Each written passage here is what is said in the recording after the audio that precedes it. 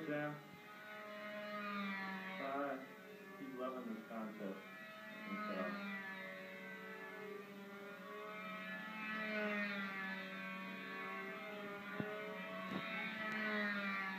Beautiful sight. Apply intermediates and beginners first on between flights. And after that, we're gonna find the advanced guys and the experts, And then we'll get some more footage of those guys.